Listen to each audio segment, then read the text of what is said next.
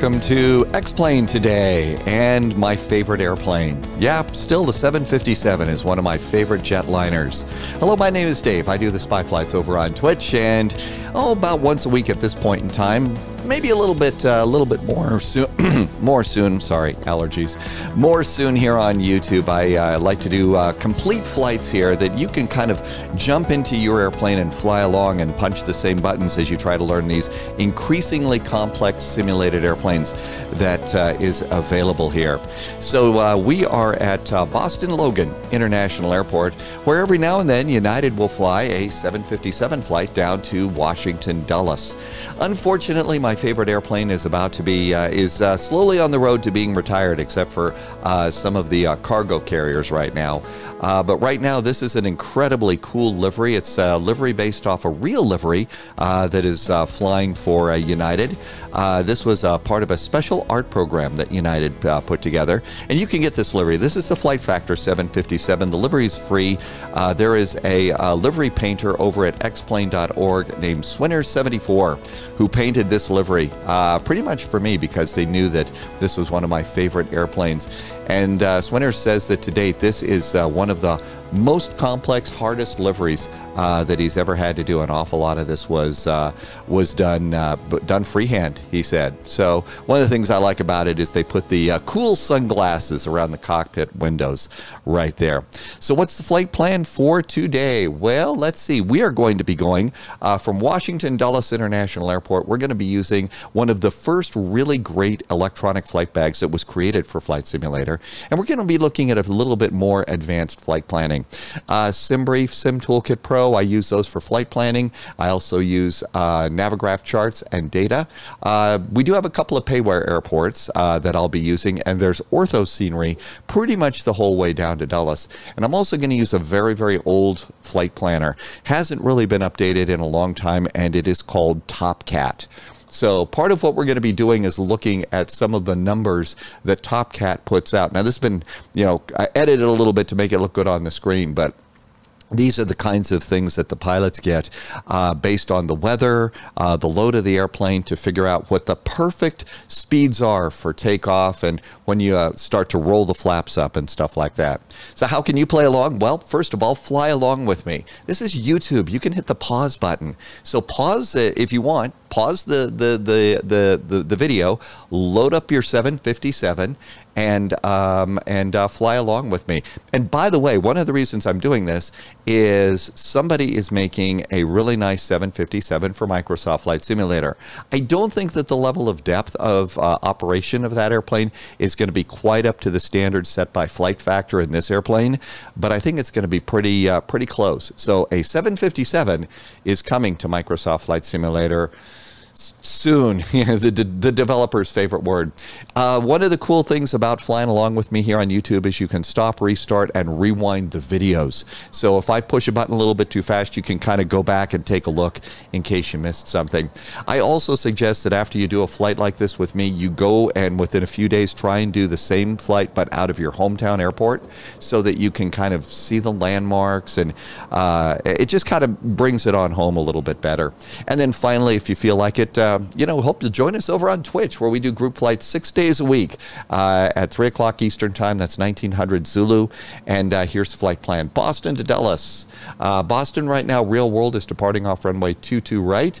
Uh, the real airplanes are flying the Blizzard 5 departure, the Hyper 8 approach. And yes, this is one of those SID to star types of flights because it's only about three, uh, 420 miles. Uh, we're landing at Dulles 19 left. That's what the real world is doing. Our cruise today, flight level 380, and our flight time is an hour and 40 minutes gate to gate. So uh, there'll probably be a little bit of a pause in the middle of all of this.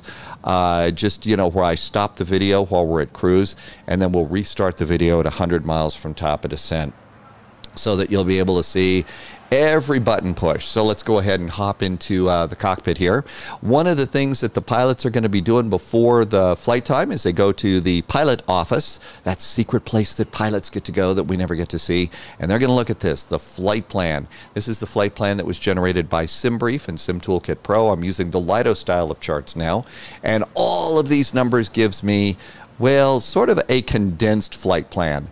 So if you look over here, and if you look in the description below uh, here on YouTube, you're going to see that a lot of this information I've gone and cut and pasted. So what you could do is you could copy and paste this into Notepad and start using what I call the flight strip. No, no, we're going to keep the clothes on and stuff. It's not that kind of strip. And yes, I have a twisted sense of humor, so there you go. But what this is, is this is all the flight data in, and it's in a very, very condensed format. And this is what I use to stay up to date on YouTube, uh, on, uh, on YouTube, on uh, VATSIM flights, really complex VATSIM flights. So this is our route today. It's an hour and 40 minutes. It's got time in, time out, all of that good information uh, that we like to have. And so I've gone and got the flight plan. The next thing that the pilots are going to do is they're going to assemble what I call the stack of charts. And back in the old days, before we had computers and stuff like that, you had paper charts, and you probably would stack up those charts, you know, uh, based on how you need the charts. So the first thing that you probably need is the uh, airport map. And so here is our map of the airport. The next thing you'd need is your departure. And there is our departure. One thing to note on the departure is here 5,000 feet is our top altitude. If you're flying on VATSIM, uh, the uh, VATSIM controllers kind of expect you to look at this chart and determine what your top altitude is if you're cleared on a SID going out of an airport. The star here is the uh, Hyper 8 arrival, and so we're going to be kind of hyper about this. At Hyper, we're going to be looking for a transition over here on the left side uh, of the 1-9. So we're going to look to make sure that the flight plan does this transition over here. We're also going to use the uh, ILS for runway 19 left. It's a little bit more convenient for uh, the Charlie of the Gulf of the uh, concourse where we'll be parking today. And so we've got that chart set up. We do have the Dulles chart. One line left means we'll probably have to do a little bit of a taxi back, but United basically parks the 757s down at the end of the Charlie Concourse. In fact, we can look at the parking gates, and they're all level uh, C Concourse or Charlie. In fact, they usually park them at Charlie 5 and Charlie 6. Maybe a couple of threes, but they also park the big wide body jets out down there too. So there we go. This is our flight. There's other things that you can do. You can go to uh, Flight Radar 24, or you could go to uh, FlightAware and take a look at uh, your airline and see where your airline parks. That's how you might know that. And I think you kind of can find that out for almost all worldwide airlines. The other thing that we're going to be using is a very old flight planner. This thing has not been updated for years, but you can apparently use this with the 737-700. So I haven't gone and set this up. You can see the airplanes that I do have set up right now. So here's a seven here. Well, maybe I did. Yes, here's a 737-700. I'd totally forgotten I'd done that. Okay, well, so yes, you can use this with a 737-700. That is a complex airplane that's available right now in uh, Microsoft Flight Simulator. So I haven't done this yet. I want to do this. But today we're going to be flying the 752 uh, for uh, United, and we're going to go and look in here and Boston to Dulles. That's already in there. I clicked out, so I got to put my fuel back in. So fuel for today's flight is 18,853. So 18,853 pounds is our total fuel on board. Next thing is taxi fuel. I've got 1,050 pounds of taxi fuel. So 1050. I kicked up the uh, taxi fuel a little bit. I tend to do that mostly for VATSIM events, but now I just do it pretty much all the time. And then our trip fuel is 8,251. So 8,251. All right. So there's all that. Our zero fuel weight for today's flight, that's passengers and baggage, is going to be 165, 641. 165, 641 gives us all of our information right here. Now you can also through TopCat, you can go and hit the load sheet button and you can print it out. And this is actually uh, what a load sheet's going to look like uh, that the real uh, 737, 757 pilots are going to use. But for today, we're going to go ahead and we can go to the takeoff page. And this is going to give us some basic information. This, uh, th this is a huge rabbit hole to jump in. So what we're going to do is skip this, and I'm going to go to the TLR, Takeoff and Landing Report, and we're going to generate a takeoff report. So we know we're going to be blasting off on runway 22 right. It's a dry runway. Flaps are going to be autumn, uh, optimum, not uh, optimum. I need more coffee. Uh, thrust is going to be set for takeoff. Let's go get the weather. So now I'm going to hit the weather update. And this is going to go out to the internets and get us the current weather. You see that there's a button here that says ACARS. This also works with the Hoppie ACARS system. I don't use an awful lot of that with TopCat right now, but as more people uh, seem to be accepting Hoppie ACARS and stuff, I hope that we're going to start getting some more true to life ACARS things. Okay, so this is all we need. I don't need um, additional runway information because it's just us, so we're not going to be kicked over to another runway. Let's go and do generate. And so if you look, here is going to be a takeoff report for United 441 flight to Boston. And it's generated by TopCat, and here's all of our weight and our weather in pounds. What I care at this point is this takeoff data right here. And usually what I'll do is go grab that data, and I'm going to come over here, and I'm going to put this in a line right here and these are my current takeoff numbers based on the current weather. So we're going to be doing flaps 5. That's the optimum flaps for our weight of the airplane. Our V speeds and our flap retraction schedule is all in there. These are all the numbers that the real pilots need to use for this airplane. And we're done. So I'm going to close this. I'm not going to quit out of TopCat. I just move this over to the other monitor and I'm going to go ahead and minimize it because we might need to revise stuff. Okay. So here we are. I think we're kind of done. And let's see. Uh oh. Well, I'm not an expert at parkour. So, and the door's closed. So let's go over here. I'm using a little thing called SAM. And this is something you can get for X Plane. And this will go and this will get gate Bravo 24. One of the things I'd wish that this developer would have done is an awful lot of the time, United and other airlines that have a mid cabin door like this, they're going to go and they're going to use this for boarding if possible because uh, the first class passengers don't like seeing people walk past them. Well, maybe some of the more nasty ones do because it's sort of like, hey, look at me, I've been. Anyway, they airlines utilize the mid cabin door. Developers never make that available to us as a boarding door. And there is a way to do it. And all you have to do is do a little check mark. You, and maybe tweak two, two little numbers in your configuration file. And that's all it takes. But they never, of course, do that. And then when I will go inside uh, uh, the configuration file and do it, usually the next time that the airplane is updated, it wipes all that out. So thanks, developers.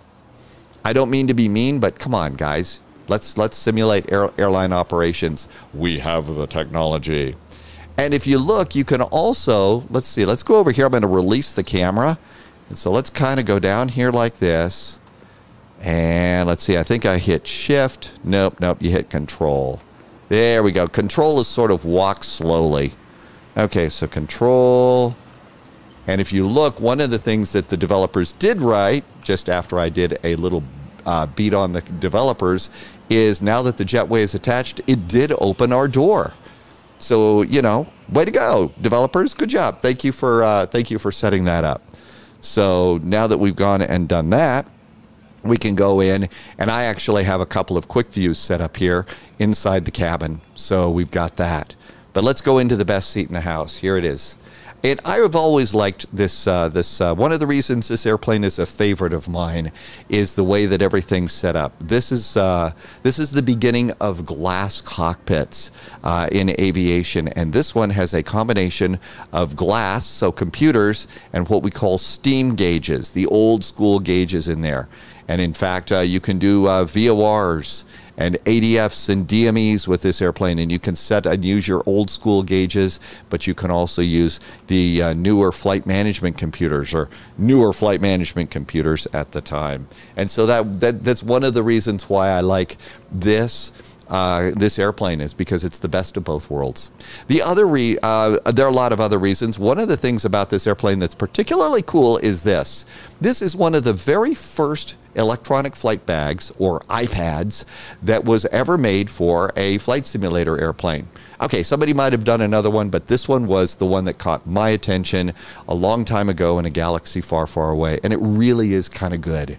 Uh, now there are flight ba- electronic flight bag- bags that are being made uh, current uh, right now. Uh, the Fenix A320 Ameri- uh, electronic flight bag over in Microsoft Flight Simulator is absolutely the best flight bag I've ever seen in a simulator. So, you know, hats off to Fenix for that. That was really amazing. Let's go to operations. We're going to go to ground. And uh, let's see, we've got a landing U, LSU, cargo, chocks are in place, a ground power unit is plugged in, we're in gate config, and we've got an air conditioning unit plugged in. I'm also going to order a fuel truck. Now then, passengers. So go to your flight plan. Our passengers today off the flight plan are 140 passengers. So we're going to go over here and go 140. That's all it takes. There's our passengers. And we have 900, only 900 pounds of cargo today. So not a lot of cargo. And that gives us a zero fuel weight right now. It says 161, 174. The computer said 165. So maybe I'm misreading. Let's put in 9,000 pounds. Did I misread that? That's 169. So it's not that. So these numbers are going to be off just a little bit, but we can kind of make them close. Let's try 1250 of cargo. Okay, that looks pretty good. That's a little bit closer to our uh, 165. Now, the next thing that I'm going to do is you see a lot of the first class uh, seats are empty. So I'm going to optimize this just a bit, but I'm going to move uh, passengers forward until we occupy all of the first class seats. And the reason that I'm doing that is the airlines are going to do that. They don't like to leave a first class seat empty, especially if they can kick, you know, some guy like me that has a few flight miles up there to make me feel good. But there you go. All of this is done. Now our airplane's loaded. Fuel for today's flight is going to be 18,853. So 18,853. And there's our fuel. Okay, so this is looking pretty good. The uh, Flight Factor 757, one thing to do, always hit the maintenance button. This is going to go and uh, pump up the tires and top off the oil and top off the hydraulic fluid. These are things that will run out uh, even if you have failures turned off on this airplane. So all of this is good. Let's go to the operations page. We've already got the uh, uh, left front door open. Uh, in the airlines, they call this the 1L door. We're also going to open forward and aft cargo and get those open too. And if we come out here and zoom into the airplane, you can see that we've got our loaders set up and the cargo's set up, and we're all ready to go and start doing airplane stuff. So let's see, what are we here? 17 minutes into the video, and now it's time to turn power on the airplane. And here in this airplane, the on switch is right over here. Battery, and then you guard it again. So you put a little guard over it so you don't turn it off in flight. Now we're going to go and do standby power, and we're going to come down here. Did you hear the beep, beep, beep? One of the things that Flight Factor did is they included the Flight Factor flight attendant, who's probably one of the most irritating flight attendants in flight simulation. There are several things you can do. You can push the flight attendant call button 17 times, and that kills the flight attendant. Uh, I'm only usually that homicidal late in the day. So the other thing I do is just ignore him. And then uh, on pushback, we go and we'll start the, um, we'll start uh, letting him do his passenger announcement. And then he will shut up. So there you go.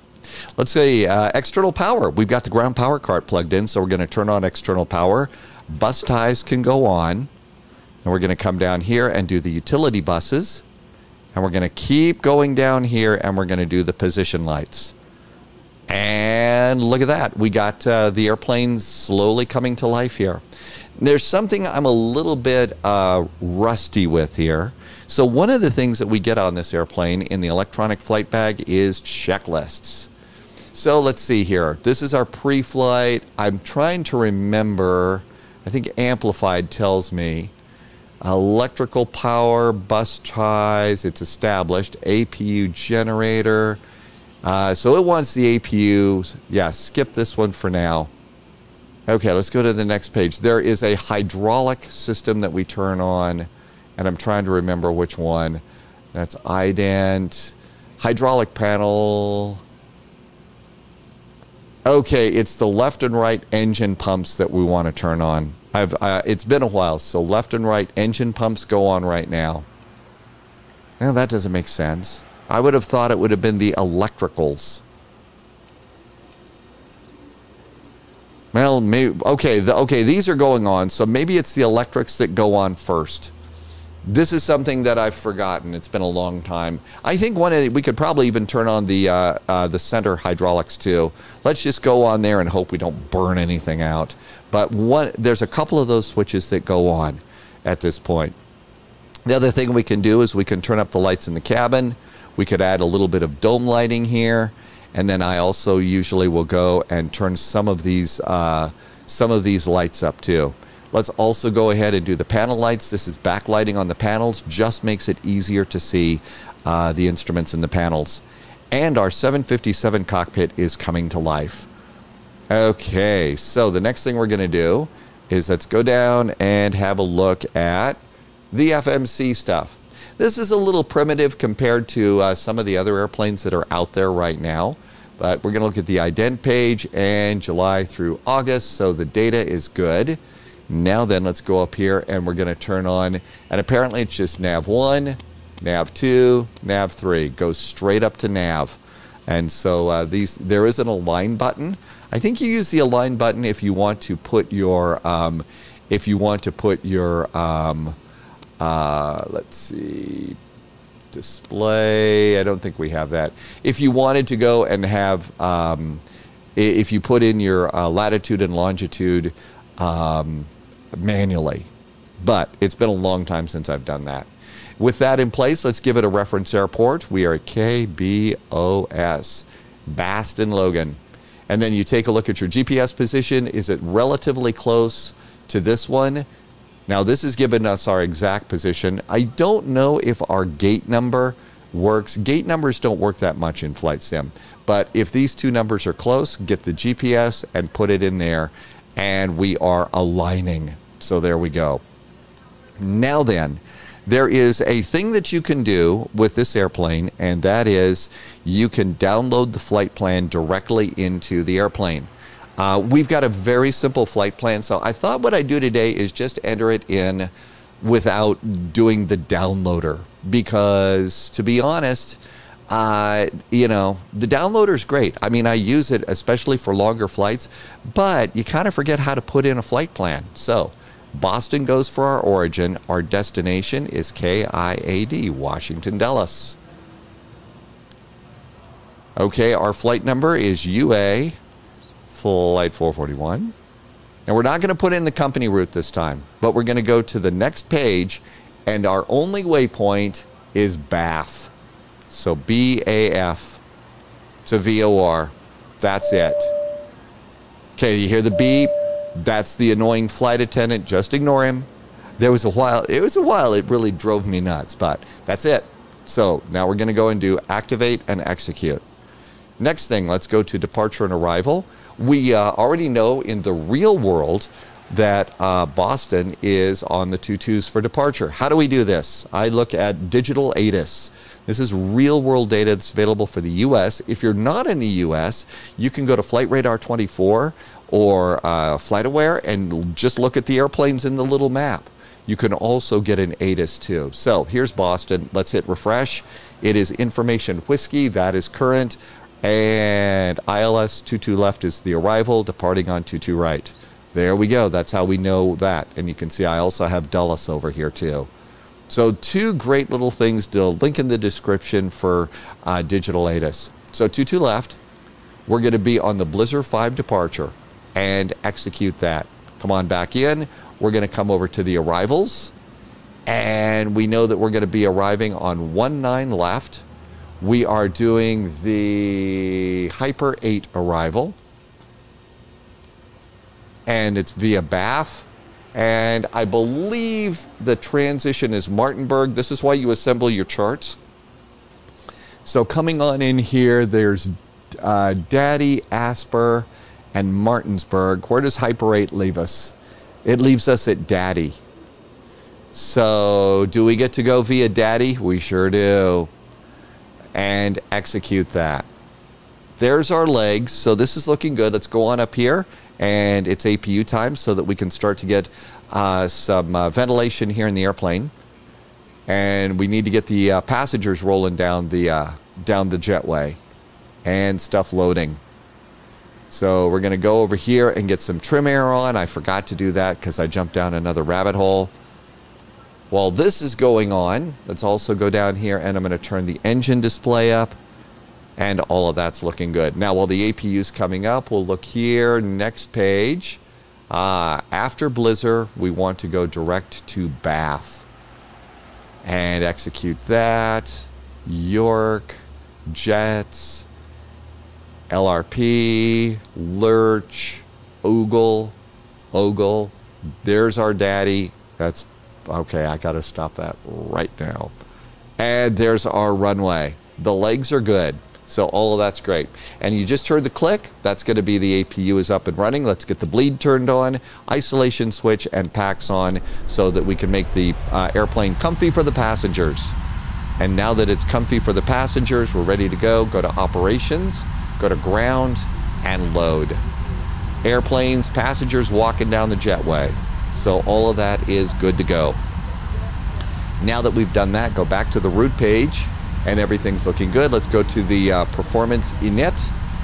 And this is where we're going to put a little bit of information from the flight plan, including our cruise altitude, and that's flight level 380. So 380, 38,000 feet. The flight plan says our cost index today is 75. So we're not going to be going super slow. Our reserve fuel is going to be 7.79. 7.79. So when we land, we need to have 7,790 pounds of fuel. And that, that basically is telling us that um, 700, that's uh, uh, holding time, diversion time, and a little bit, and 15 minutes of extra time. So that way we've got enough fuel to be legal to, to, to, to do the flight. I didn't do a very good job of explaining that. It's uh, and part, partly it's because I saw insufficient fuel. This thing is going to pop up on us every now and then. Don't worry about it until you get to cruise. You know, we're going to trust the math right now. All right, so all of this is coming together. Let's go ahead. And the ADA says the altimeter here in uh, Boston is 2998. So come on over here and 2998. Now there's a little secret here to the Flight Factor airplane, and that is the screw. All right, so over here, there's our altimeter. So watch my little pointer here. You see it over here? Watch as I move it over the upper left screw. See the little arrow? I just set the first officer's altimeter. So that's just a little way to, uh, to save yourself some time. And 2992 on the backup. Two, no, 2998 on the backup there was a there's a live streamer flight simmer that I drove I drove this person absolutely nuts because I usually just did not do that and so like come on set your backup altimeter be a real pilot here okay coming on over here our departure heading we set the departure heading in and looking at the chart so this is why you set up your charts in advance so it's right there our heading is going to be 215 off the runway so dial in 215 degrees 215. I really like, do you notice the way the way the uh, numbers are kind of bouncing in here? That's the way that it happened in this airplane. So watch, I'll do it again. See how it bounces? That was actually really pretty cool about this old airplane. We already know because we read uh, the uh, departure that over here on the departure, our top altitude, our cleared altitude is going to be 5,000 feet. So we'll slide over here and we're going to dial down to 5,000 feet. The click zones on this airplane are incredibly well done. There's a lot of click zones that are not well done on this airplane, and this is one of the airplanes that it's well done on. Okay, let's go ahead and get our electronic flight bag. We're going to go to uh, ground, and we do have uh, the APU running, so I'm going to disconnect the uh, air conditioning unit right now. And if we look up here, let's check the fuel 18.8. Look at flight plan. We're done fueling. And if you've noticed, the uh, the noise has changed. We're done loading the airplane. It's time to start thinking about going. Let's see here. Everything looks pretty good. I think we're still aligning. I hope we're still aligning. Otherwise, I'm going to be really embarrassed. So let's go back to the menu, FMC, index position init. Are we doing? I think we're. I think we're doing our init. So we are initting as best we can. I think we're getting the knitting taken care of here. So now then that we've got all of this taken care of, we can go and uh, take a look at the uh, iPad. So let's get the iPad up here. And we're going to come over here to operations and ground. And let's go back down to the FMC. Our zero fuel weight, the actual zero fuel weight of the airplane is 161.5. 161.5. Pop that in there. That's also going to do your gross rate. It's going to yell at you about fuel. I'm not. Let's not worry about that. And now we're also done with fueling, so that's good news. Uh, we can come up here and we can disconnect ground power. So the APU is uh, providing electricity. Let's uh, put the APU online, and we're going to do external power off and disconnect the ground power unit. Okay, we also can get rid of the loaders. So the loaders are gone and chocks and gate config remain in place. So airplane's kind of coming together here. Let's go ahead and in uh, X-Plane, the gold standard for pushback is better pushback. We're going to start that right hey, Captain, now. let me know where you want this thing. Ah, the voice of our pushback driver is uh, a former uh, Twitch streamer named Catstrader and that is how I learned about. Great news, Captain! Your tow's coming. That's how I learned about uh, Twitch and live streaming and aviation on the internet like this. So uh, that that you know that that's the person who you could blame if you need to blame for all of this. Next thing that I'm going to do is come over to the FMC, and I'm going to go ahead and put progress over here. Again, you can see at Dulles it says we're going to have 1.7, 1,700 we're supposed to have uh, 7,000. This is why the FMC is yelling at us right now. Okay, so everything's looking good here. I say no smoking. And let's do seatbelts going on too. All of this is looking good. Uh, let's close the doors. It's time to get ready to go. So operations and airplane. And we're going to close the cargo bays. And the ground crew All has right. already brought. Looks like the doors and hatches are closed, and we're ready to connect. The uh, ground crew is ready to um, uh, is, has come in and handed us the final load sheet. Let's go ahead and close that left front door. Go to ground, and we're good to go there. We're also going to go ahead and start getting ready for our checklist. I'm going to get the beacon on here. So now that we got the beacon on and with the door closed, I'm going to arm the emergency exit lights and guard the emergency exit lights. So that's looking good too. This airplane, as I mentioned, has some really good checklists. So the normal checklist is what I like to go to here. So uh, oxygen. So here is our oxygen. And you can zoom down here. Welcome aboard, Captain. Tow's connected, bypass pins inserted. Go and kill the parking brake when you're ready to go. Okay, we will. Thank you. Hit the uh, test button. There's our test. And we just did the oxygen test. Pressurization. So, pressurization, first of all, go over to your charts, look at the arrival airport.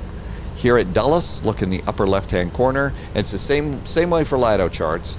313 feet is the airport altitude. That is our landing elevation. So that's going to be 310. So dial this down to 310 and then turn this over to auto. Pretty good. Flight instruments. I think our flight instruments are probably pretty good at the moment. There's tests that you can run. You could do cancel and recall. There's a number of tests that you can do. Let's just go ahead and say we're done with those tests. It uh, parking brakes good. Fuel control switches are uh, cut off, and our gear pins are aboard the airplane. Come on over here. Fuel has been checked. Passenger signs are on. Windows. So you can't open the windows. Are they closed? Yep. Mode control panel. Yeah, I think that's pretty much set. Although I guess we could turn on our flight directors. So we get that system up and running. So mode control panel is good. Takeoff thrust. I think our ta takeoff thrusts are all set in here too. So that's been preset while we put all of that information in. Speeds are good. CDU, rudder and aileron trim is zero. Taxi and takeoff briefing. This whole video is a briefing. Flight deck door is closed. Red anti-collision light before start checks are good. We're now ready for push and start.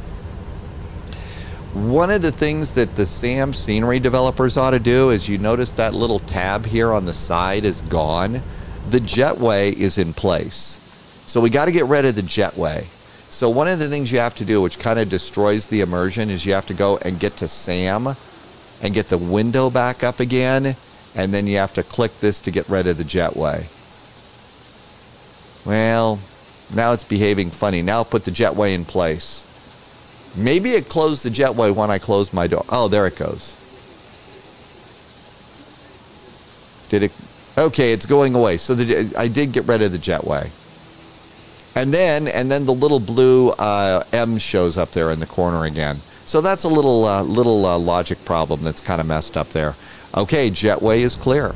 So now we can come on down here. Parking brake we already know is on, so go to ground. And all we're going to do is get rid of the chocks. And we're good to go there. And at this point in time, if we were on VATSIM, we would be coming down to our transponder and we would be squawking uh, uh, mode Charlie. And to do mode Charlie, which is uh, uh, uh position and radar, you just go to TARA right now. Real airplanes are going to stop, they're going to go altitude off to start, but I think in this airplane, you do need to start squawking TARA to show up um, to show up on the radar scopes uh, for VATSIM. And we're ready to go. So come on down here. There's our parking brakes. Parking brakes off. Here comes Out the pushback. Light them up. All right. And if you take a look at my flight plan, we are four minutes late out of the gate. It's not too bad. Not too bad considering all the little rabbit holes that I had us jump down here. We can go and start engines now. So pack's going to go off. So if you're a passenger in an airplane, you probably notice as they're pushing back, the, uh, uh, the AC seems to go off. That's so that they can start engines. Starter goes to both. Well, let's start engine number two first. Engine number two, click it over to ground start. Look down here. Is the N2 going up? Sure is. 13, 14, 15, and I think it's 22%. And I think you can use the Airbus switches on this airplane. Yep, there goes fuel control. And here comes our very big.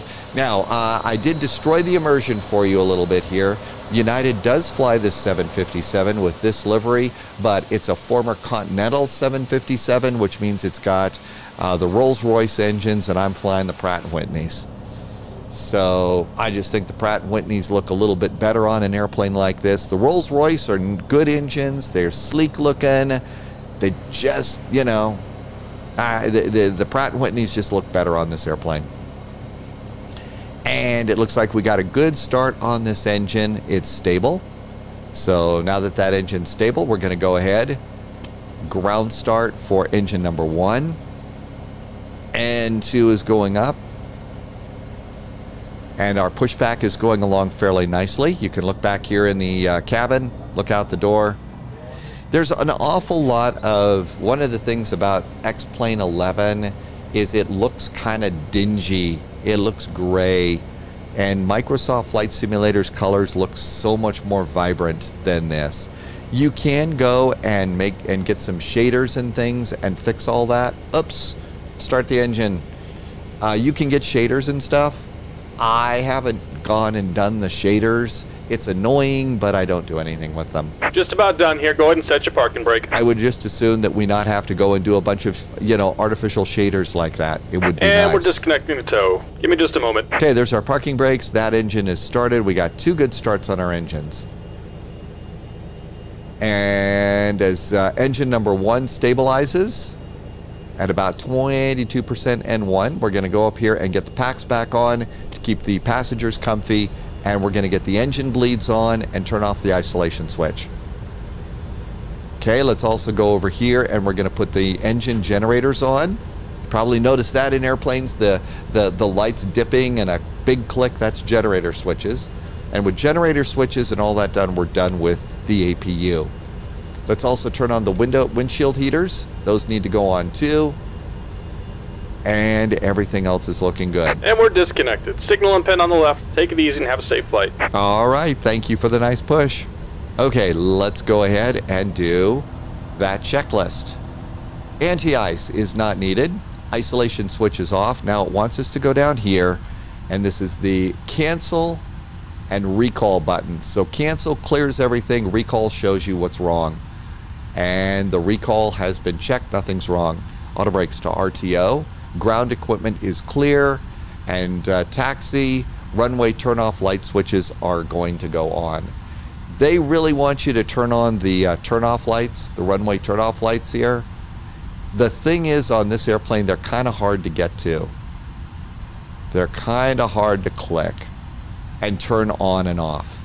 So, and also the taxi light, the nose gear. And we're ready for taxi. So, like I was saying, this electronic checklist is really good. It's one of the first ones ever. And looking out there, everything's clear of the airplane. I think it's time to go. Sit back. Make sure you does your chair tilt back. Lock your chair in if you got rudder pedals. It just makes your life so much easier.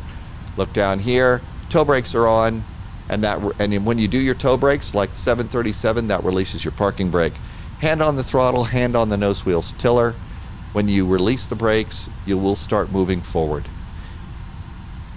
And out we go. There is our big 757-200. I think the 200 is a little more fun to fly. I have not advanced my throttles or anything like that yet. Now then, at this point in time, come on down here, go to in-flight, go to PA, and do safety demonstration. Ladies and gentlemen, that will, uh, otherwise the flight attendant will bug you for the entire freaking flight. Again, you can kill the flight attendant if you want to. Uh, I haven't had enough coffee to be that homicidal yet. We're going to come down here. I'm going to go ahead and put the map on. And we're going to go ahead and make the range a little bit more, uh, a little bit bigger, a little bit more. I'm going to widen the range of the map, sounds better. So we've got that. Actually, this is kind of a tight departure. Let's leave it on 10 miles. I'm also going to preload airports and data, or, or load that in right now.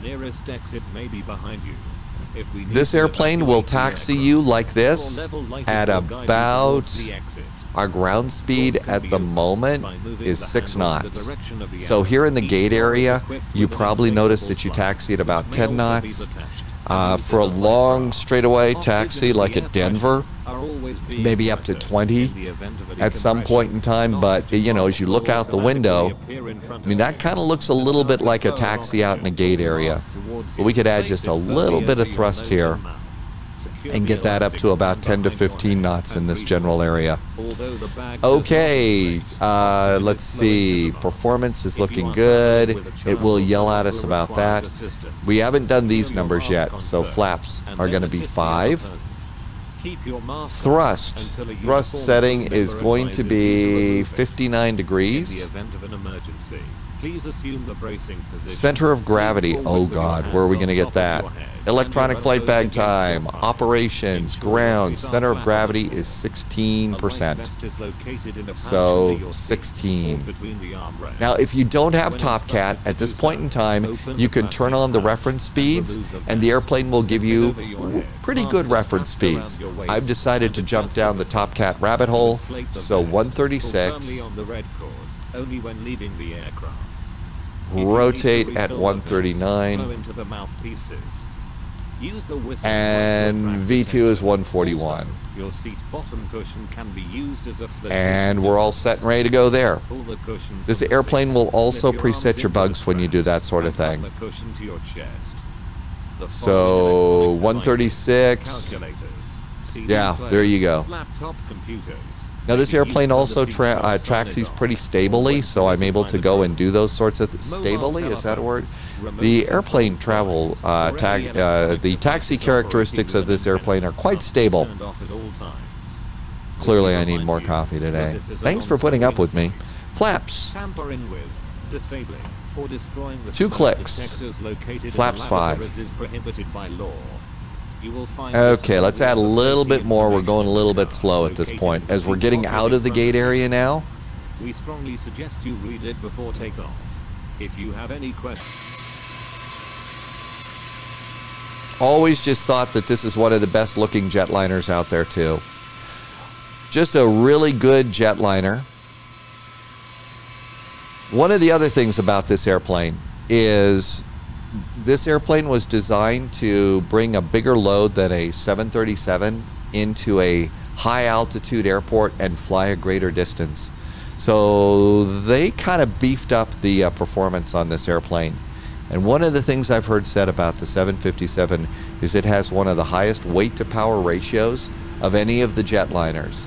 Which means if James Bond is running down the jet, running down an airport concourse and needs to get away from the bad guys and needs to steal a jet, this is the one that James needs to steal if the little BD5J that he flew through the hangar isn't available. So this is this is a good one for James to steal because it's it's it's more of a sports car. You know, call this one the Aston Martin DB5 of the jetliners.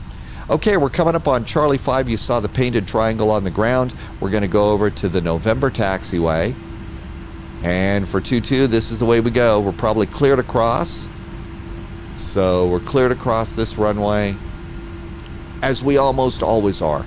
If you're on VATSIM and you know they're doing uh, departing on the 2-2s, you're always cleared across 1-5 right, which is here, but they always want you to stop at 1-5 left, which is usually when they hand you over to tower. All right, last few steps. I'm going to turn on my auto throttles. Those are good.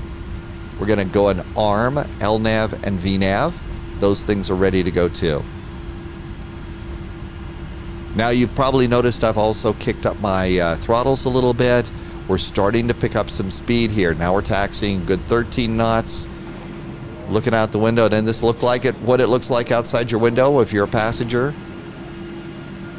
So yeah, this is about uh, this is uh, going to be real world taxi speed, and we don't want to go too fast.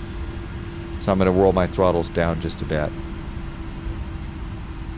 Yeah, about 17 knots now. So this is where uh, ground at Boston on VATSIM is usually going to have you stop, and then they'll kick you over to tower uh, as we come up uh, as we cross uh, uh, one five right left. Okay, speed 16, now it's diminishing a little bit, which is good because we got a 90 degree turn to do up here. And you want to take those 90 degree turns at about 10 knots as we make our right turn over to the runway. So you can see here we are crossing 1-5 left and there's that 90 degree turn at November 1. Over here, you might notice that the uh, pavement changes to uh, concrete as opposed to asphalt on a hot day. You got a big heavy jet sitting out here waiting to take off. If it's getting hotter and hotter, the concrete is going to handle the heavy jet better than the uh, asphalt will. So I think that, and, and they probably have to replace this a lot more. So this is why it is that we've got uh, this concrete pad. This is where you wait for your turn to take off. And let's come on over here. Checklist before takeoff. Takeoff briefing has been done ad nauseum. PAX auto and off. So I guess we're going to be good for PAX. Flaps. Stabilizer trim. Uh-oh, we didn't set stabilizer trim. And so we can come down here to the FMC. Let's let's taxi first. Let's do our taxi first and then we can do that. And we'll stop and, and do that. One of the things on a VATSIM is people get a little bit rushed. And there are definitely some times in the world of VATSIM where, yes, you need to do something and you need to do it now. But 90% of the time, you don't need to rush as much. We'll almost always have a few seconds to sit here at this point and, and, and do these numbers. So you'll also have a few seconds to look ahead and see, okay, what's departure frequency? And maybe we can preset that. And holding short. There we go. Come on down here. Parking brakes. Look down here. Okay, so let's do trim 5.1. So look down here. Where are we? So there is four there's five and one. Trim is set up. Flight controls. Uh, flight controls are looking good. If you want, you can come and hit the status button. And you look down here in the lower corner. There's elevators. There's ailerons. Now, I think that these are moving way too fast. I think I need to turn the sensitivities down on this airplane. Okay, flight controls, the cabin is good. And now it wants us to turn the um, uh, turn off lights off.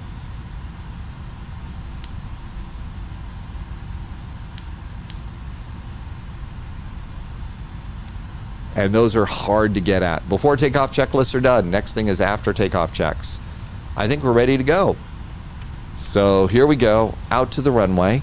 Next thing, we're going to do uh, white strobe lights. Parking braces are off, and out we go. It's almost flying time.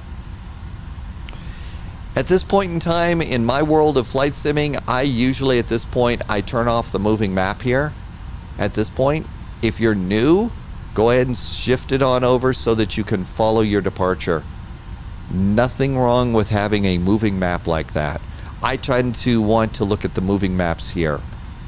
So that's why I look at the moving maps here, and that's that's why I might turn off my flight tracking uh, over on uh, over on something like Navigraph.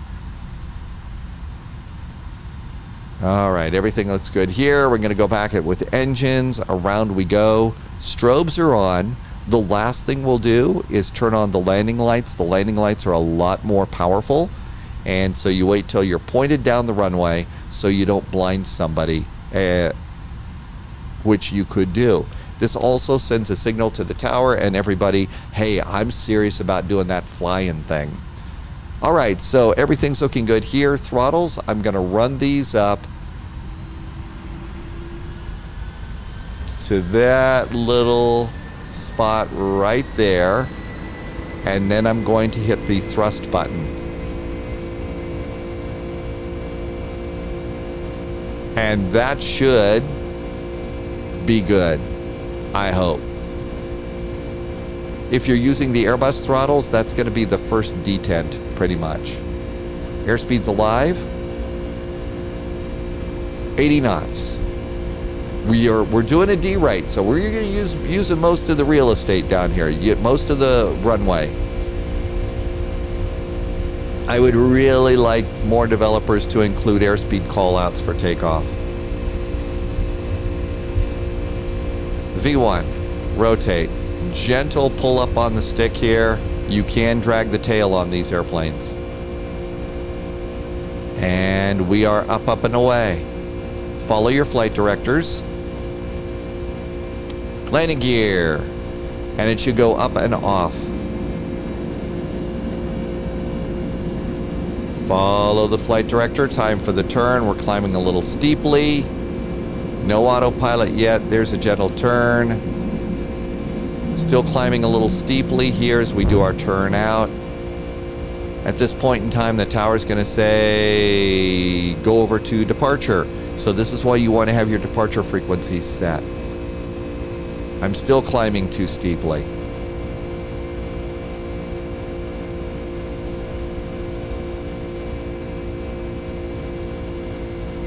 Okay, there we go. That's centered. Let's go ahead and get a little help from the autopilot now. AP,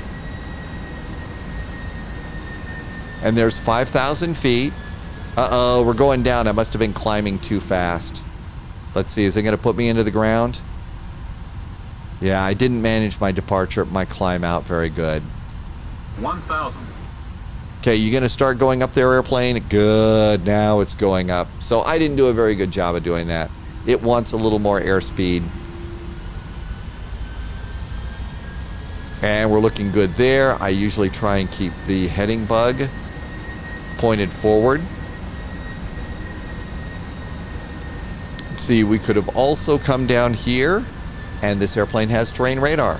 So one person, uh, one pilot's going to have terrain radar, the other will have um, uh, weather radar. And there's our turn at TJ. And at this point, uh, ATC is going to say climb and maintaining probably 17,000. So climb maintain 17,000. Uh, let's see. We've stopped. Is it because I'm incompetent? Or no, above 3,000 feet at Burrow. I may. Oh, VNAV is off. Gee, I, I, I, did I turn on VNAV? I probably did something wrong. In my case, chances are the airplane is smarter than I am. Okay, we got a good little speed up going here. You gonna pick up that climb? There we go. Now I think we're starting our climb again. So I let the airplane get a little slow, and I, and VNAV got popped off. Generally, one of the hardest things that I'm dealing with in flight sim right now is there are so many airplanes. And the thing is, is with so many airplanes, they're also getting more and more complex. It's been months since I've flown this airplane. We uh, did it on live stream the other day, but you know, remembering, okay, it works this way in the Airbus, that way in the McDonnell Douglas, this way in the Boeing, keeping all of that straight, wow. So I probably missed a few button pushes. One of the reasons, though, that I will leave uh, the uh, mistakes like this in a video like this is to show, guess what? We're still flying. We're still pretty much in our place in the sky. And so if you're having a problem like this, you can uh, recover and keep flying in VATSIM. Uh, let's see, one of the things I also forgot to do, we should have been doing a notch of flaps, flaps one. There goes flaps one. And speed's now coming up a little bit. I also left them out a little bit because we had a couple of speed restrictions here. So, and now we can go flaps up. And starting our turn.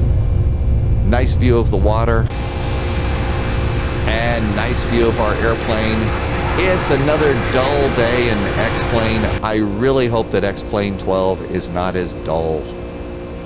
And I hope that if, you know, because I don't want to have to do a lot of reshaders. Remember we had auto brakes set? This airplane automatically, after you take off, turns off the auto brakes for you. So this is the beginning of some more of the advanced automation uh, in, in, in modern jetliners, which is really cool. And here's our next turn. Let's come on down here and widen out the map. I also forgot to turn on traffic. So if we were on VATSIM, uh, we would uh, be seeing traffic. Continuing our climb, doing pretty good. There's 5,000 feet.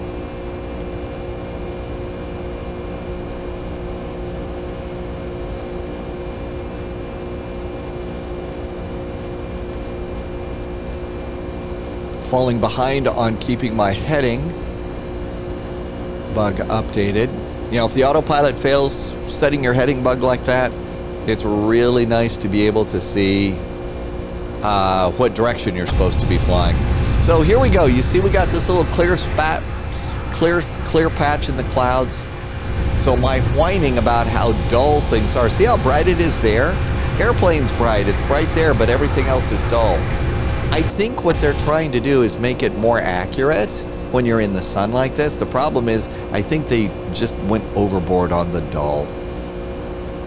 And so that's why, you know, this thing is, is considered, you know, the gray sim.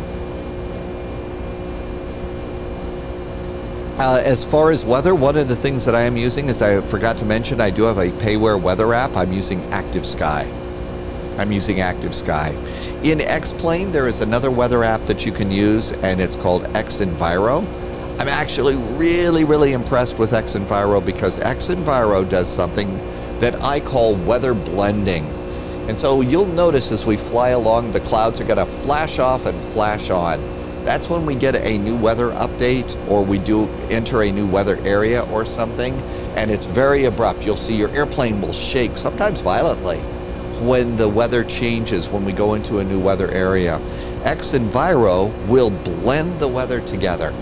And I really wish, and I think that I don't use xEnviro because it's a little bit heavy on my frame rates, too heavy for my older system. So, but weather blending like that, I'm sure that that's a very, very tall order in the world of simulators, but I really wish we had more of that. Okay, there's 10,000 feet. Landing lights can go off. We're also going to ring the bell, let the cabin crew know we're past 10,000 feet for most airlines. That's past sterile cockpit. So if the flight crew needs to call the cockpit, they can now. for passengers, you probably noticed that they will do an announcement at, at 10,000 feet or thereabouts after takeoff. And uh, they will basically say the seatbelt sign is still on. No, you can't go to the bathroom. Why don't you apply for our great credit card deal? Okay, so we're good to go there. Gears up, flaps up. I think it's time for another checklist. Gear is up, flaps up. Look at that. It automatically told me we've done that. We're still waiting for the altimeters at 18,000 feet. That really was, back in the day, just an absolutely amazing electronic. It was one of the first electric follow along checklists, I think, in flight simulation. Now, I, I mean, we've got great checklists. The FlyJSim Q400 is awesome. Uh, the checklist that we have over in um, the Fenix A320 and that whole electronic flight bag, like I've said, continues to just knock my socks off at how awesome it is. Uh, and how close to what the real world pilots do because it was coded by a real world pilot who knows these things, who actually sat in that chair in a real airplane. So I, you know, I'm really impressed with what Fenix has put out uh, as far as the sim. And PMDG is about ready to put out their own electronic flight bag. I have no idea what to expect, but I suspect it's going to be really good, and I can't wait for that one. Okay, we're doing pretty good. There's our departure. Uh, we just got a phone call from ATC. We are going to climb and maintain flight level 380. So continue the climb, 38,000 feet. We've probably been uh, about ready to get kicked over to center. If you're on VATSIM, you know that center, uh, there is a really great uh, uh Twitch streamer named Sheedy. Does a lot of ATC, does marathon ATC sessions and puts them up on, on Twitch for you to see. It's really good. Uh, it's great one, for one thing. First of all, it's uh, for flight simmers. You get to see what it looks like over on the other side. You get to see what it looks like uh, from the ATC side, and I think that that's a. It's cool to get to see if you're an aviation nerd, but B, you get to see okay, this is what it looks like to them. So there we go. Passing 14,000 feet, we are 370 miles north of Dulles. 90 miles to top of climb. We should have 14.9, 14,900 pounds of fuel in the tanks when we get to Dulles. Notice how the uh, the airplane stopped whining at us about insufficient fuel. So that's how I, that's why it is that all of those things uh, work work out.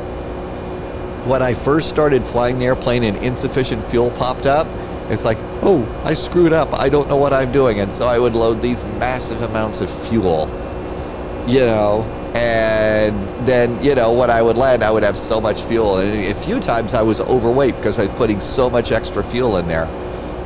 Well, no, it turned out we had enough fuel. Life was good.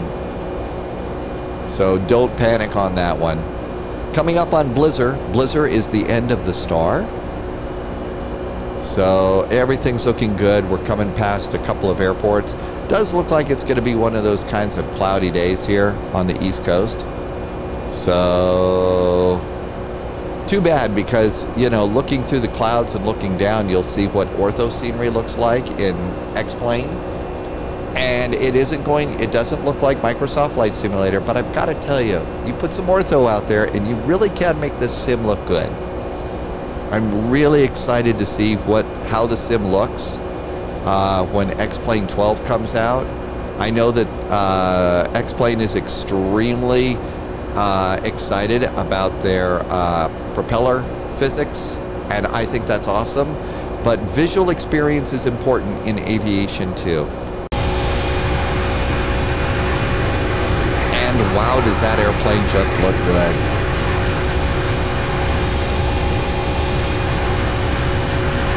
Just an amazing experience. Just an amazing airplane. 289. Okay, we passed 18,000 feet. We should have done the altimeters. So, altimeters, got to come over here and Baro 2992. Don't forget to click the screw for the uh, first officer. If you don't, the airplane will eventually yell at you. So let's just leave it and see how long it takes to say, hey, there is an inconsistency between the two. Watch, maybe there isn't enough space. So we didn't set, did the first officer get reset when I did that? Nope, that's 2998. Let's see if it if that's a big enough difference between the altimeters. It should pop up there maybe. Maybe that's not big enough, I don't know. Now in the uh, in the Fenix A320, you've got to have them either synced up or you've got to reset them and I think you've got about 30 seconds in the Fenix A320 to set both uh, the pilot and the co-pilot altimeters before it has a problem with you.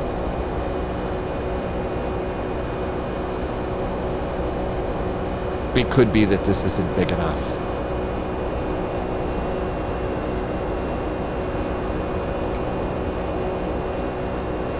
Twenty-three thousand feet. Maybe it's not big enough, so we need a bigger, bigger thing for us to get a uh, a, a bigger difference in altitudes for it to yell. So let's just go ahead and hit the screw, and let's go on down here. We'll set the backup because we want to be good pilots. 2992 come on down here, grab our checklist. And altimeters are set after takeoff checklist is done. Next checklist is descent. Let's go ahead and it's nice and smooth. I'm going to ring the bell again and let the flight attendants know that they can get up. Another little view between through the clouds so you see a really nice little bright area down there and the shadows over there. It's just too much. But looking out the window, not so bad from this altitude. Not a very bad view at all. You can come up here and you can do the uh, flight deck door to unlocked. And you can come over here and you can walk this way and you can open the door. There's a lot of, uh, some developers kind of think that this is, you know, what I think they call a, a you know, a ding dong thing this is kind of part of the flight sim experience, you know.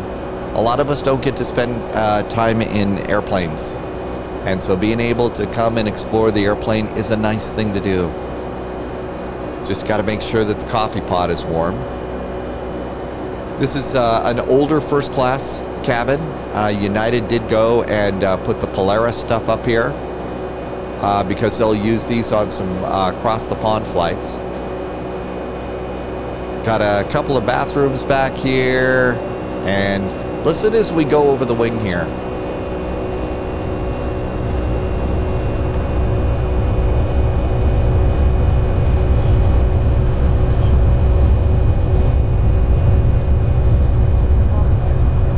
This is one of the first airplanes where the engine sounds would change like that as you go further, further, further back in the airplane. So this uh, this one uh, at Flight Factor really, really did cool stuff with this airplane.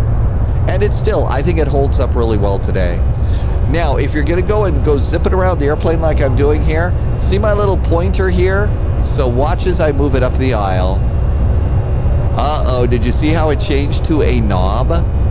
You can control knobs of your cockpit all the way back here. So as you're walking around the airplane and you're going to want to move over here and move over there, one of the things to do is not click anywhere around the cockpit or else you will turn some of your switches on and off, including the switch that says, you know, crash the airplane. So you don't want to do that.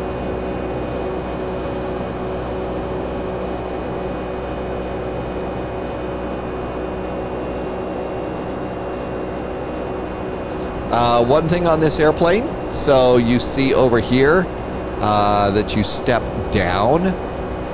Okay, as we come on in here, so if you were in the 767, you would actually step up because it's pretty much they use the same cockpit. And part of the reason that they did that was so that an airline pilot could be type rated in both this airplane and the 767 uh, and not have to go through a ton of extra retraining and everything else. So it was very easy. It gave uh, pilots and airlines a little more flexibility there, you know, and uh, they were able to save training money and a bunch of other stuff. So by using the same cockpit, but because the 767 is a wider body, so they had to move it up and this one down. a little bit in, in the actual grand scheme of things. Passing 29,000 feet. We're doing an early morning flight. It's smooth outside. I'm going to go ahead and do seatbelts off. It's smooth. There's somebody back there that got the Venti instead of the Grande. We're gonna we're, we are going to show mercy. By the way, yes, that happened to me, but it only happened once. I learned my lesson. And out we go, approaching our final cruising altitude. We are 100, we're 310 miles uh, north of Washington Dulles. So as we approach top of climb, one of the things that I will do on, on the uh, YouTube videos that I record, I record in the morning, so it's first thing in the morning, it literally is first cup of coffee time. So what I usually do is after we get to our top of climb here, which is 38,000 feet, which is 32 miles away and should happen at 1417 Zulu. It is 1414 Zulu is I will usually hit pause on the recording. You should hit pause in the recording too if you're flying along with me. And what you can do is when you see this is going to change over to top of uh, descent, so you'll get top of descent information about 100 miles, 90, 75 to 100 miles. That's when I'm going to start the recording again so that you just don't have to sit and listen to me doing a bunch of mindless chit chat and I get to actually go and get breakfast. So that it will actually be uh, it's it's it's time for food. So if you were a United passenger, I would be going and getting my stroopwafel now. Which, if you're missing the uh, missing the world of, of, of flying, you know, you you can actually go and get stroopwafels on uh, at Amazon if you are flying one of the other airlines, I'm sure that you can get a, you can figure out, you know, what the brand of pretzels is. And you can get a jar of, of, of pretzels made by the same manufacturer that's on your favorite airline. And you can give yourself, you know, you can have, you know, your, your, uh, the snacks that they're serving. Again, you, you know, I'm a little bit sort of like, you know, I haven't been in an airplane in a long time so we're heading 252 with a 78 knot quartering crosswind, so that's why we're uh, a little bit crabby going into this. There's 35,000 feet. Our fuel is in amazing, perfect shape. It has gone down though. Now you can see we're uh, 11,000 pounds is our estimated fuel on arrival. The flight plan says uh, if we go below 7.7 with the number that's over here, 7.7 is when we have invaded our, uh, our alternate fuel and our reserve fuel. And we're not supposed to do that unless we get a diversion, or we have to hold, or we have to turn 20 degrees for spacing. Once you turn 20 degrees for spacing, then you're starting to use a little bit of your route reserve fuel. And, and, and, and the reserve police aren't going to come breaking down your door. Boy, I understand that you've been using too much fuel. We're going to have to take you downtown for questioning, son. I do that a little bit too well. So here we are, looking out here. There is scenery ahead. This is all ortho scenery. We're uh, coming into New York City. And I'm going to say 38, 35, 38,000 feet, you can make X-Plane look very good. The clouds that I'm using, the uh, uh, Active Sky comes with clouds. There's two sets. You can have high quality clouds or performance clouds. These are the performance clouds. I don't need anything else. This works great. And then you just come out here out of the clouds and the sim just brightens up so nice. So if they would if they would if they would tone down the dingy just a little bit, that would probably be good. Okay, we're coming up on 38,000 feet.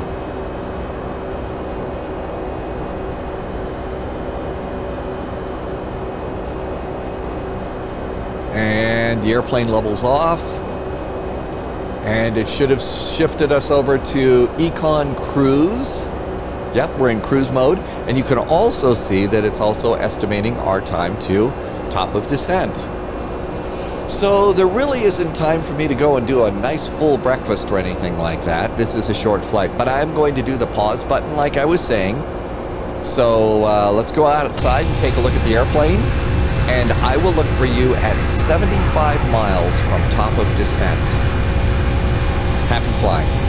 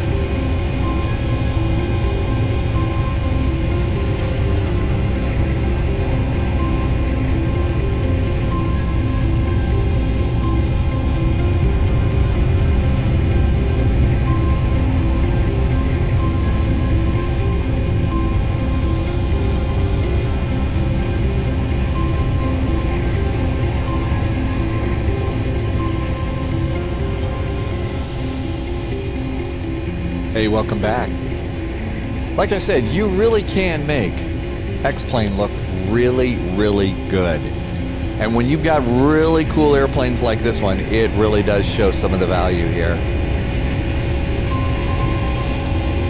How about that?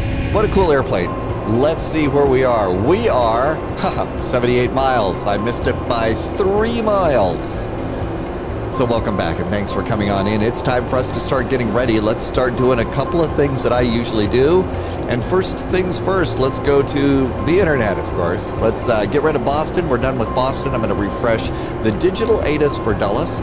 And uh, Dulles is doing information Lima right now. The wind's 290 at 3 knots, 10 miles visibility, 29 degrees, the altimeter 3008. Should be 3007 for the spy flight, but I'm not going to whine. Still landing on runway 19 right, left, and center, so we are good to go there. One of the things that I've done here is uh, I am using TopCat. Again, this is an advanced flight planner, and we can come on in here and take a look at some stuff. So let's go over here and hit the update button here. And there, we're on the landing page now. There is that weather information that we just read for Washington Dulles. Let's go on down here. And now I'm going to go, and because this is connected to the um, landing weight, we're going to go ahead and get the landing weight. There it is. And let's hit the compute button. So let's see, what do we got going on here? Reference speed and approach speed. So we're going to be approaching at 128, it's our best approach. And our landing distance should be, for the runway that we're planning, 19 left. We should need almost 5,000 feet to land. And we're going to have 654 feet. And that's with um, uh, landing mode is going to be manual. Auto brakes are going to be auto 3. Packs will be on and a flaps 30 landing. Okay, so we're going to be able to make this landing pretty good. We can make ourselves a landing report. Once again, you can get the uh, weather. You can also get uh, the uh, data if you wanted to for the other one nines. I think that all of this is pretty cool, so let's just hit generate and see what we get out of TopCat. And there is all of that information. So it gives you VREF, VAP speeds. All of this information is perfect for a flaps 30 landing. So you can copy and paste this. So we can put landing information in. And there is a ton of other information that's available here. And the cool part is, is we could use TopCat uh, with the 737-700, which is something I'm looking forward uh, to doing. Fact is, that's probably going to be what uh, I'm going to do uh, this afternoon is try and adapt, look at TopCat and see how it uh, works in Microsoft Flight Simulator with the, uh, the PMDG 737. We're doing our turn over here and let's see, do we have a top of descent? So I've got about a 40 mile range. We are 60 miles from top of descent. We do have the latest weather information aboard the airplane. Time to brief the approach. And first of all, I don't think we need to go back to uh, Boston, so we're going to clear out those charts. We're going to clear out information that's a little bit of clutter here. So on the Hyper 8 arrival, we are coming on down here, and I think we're coming in via Albany. No, we're coming in via Barnes. So here's the route via Barnes, Barnes, Barnes, Barnes. And this is going to pick us up at the Lancaster VOR. And then at Lancaster, we'll pick this up. There's Hyper. Okay, Hyper, we need to be at 10,000 feet, 250 knots. And then after Hyper, for Daddy, we want to be above 3,000 feet. Okay. So this is a pretty smart airplane. We're cleared to descend via the Hyper arrival. So I'm going to go ahead and put 10,000 feet in here the airplane will start descending atop of descent. Airbus wants you to push a button. This airplane, if you got the flight management computer programmed correctly, and the altitude in the altitude window here, this airplane is going to start you down at 10,000 feet. So I usually will not change this number.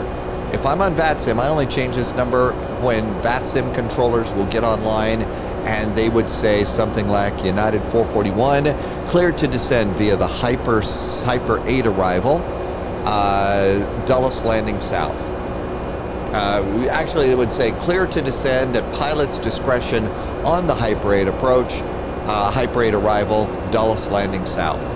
Okay, that tells me that okay, I'm good to go for 10,000 feet, which is the last altitude here at Hyper now here at Yang, we have 4,000 feet, but we don't have our runway yet. Usually we're not going to get our runway.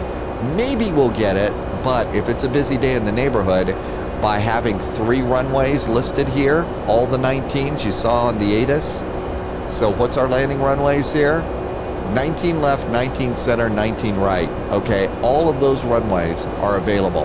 That gives them, them the ability to spread us all out and bring in more airplanes at a big international airport like Dulles. So, we're good at Hyper. We don't know which of these transitions we're going to use because we don't know our runway yet. If I were on VATSIM, I would also have charts available for 19 right and also 19 center. That would be my stack of charts, so I'm all ready to go. If, they, if they're going to make a change, I'm ready for the change. Looking down here, uh, minimums 200 feet, so this is, uh, we don't put in the baro here. So you come down here, there is uh, decision height, reference, 200 feet, already set and ready to go. So that's ready. Now this airplane does need you to put in your ILS. So we're going to assume that ATC is being very nice to us and saying that we can go ahead and uh, they're to tell us our runway right now.